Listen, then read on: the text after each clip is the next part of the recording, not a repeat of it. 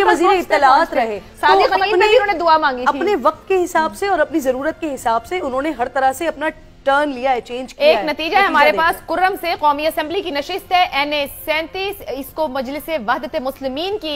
उम्मीदवार है हमीद हुसैन। उन्होंने जीत लिया है। अट्ठावन हज़ार छह सौ पचास वोटों के साथ शिकस्त दी है पाकिस्तान पीपल्स पार्टी के साजिद तूरी को जिन्होंने चौवन हज़ार तीन सौ चौरासी वोट लिए अच्छा ये M W M is very important एक सीट इज़ वेरी इंपॉर्टेंट एक सीट पीटीआई चाहती है कि वो अपनी सारी नशिस्तें एम डब्ल्यू एम के साथ शामिल करके जो रिज़र्व सीट्स हैं रिज़र्व सीट्स जो हैं उनको क्लेम कर सके and they can do it now M W M का बंदा हाँ नुमाइंदा उनका मौजूद ले जी ये बड़ी ही अहम सीट है जो मजलिस वादत मुस्लिमीन ने निकाली है। मलिक साहब ये कह रहे हैं कि ये एक नशिस्त फेस दे सकती है पीटीआई पीटीआई के उन तमाम तमाम इंडिपेंडेंट्स को जो कौमी असेंबली और सूबाई असेंबली में पहुँचेंगे। यहाँ उन्होंने ये सीट निकाल के वो एक ये पार्टी उनको बनी बनाई मिली है इसके पास साइन है। इसके बेसिस पे वो रिज़र्व सीट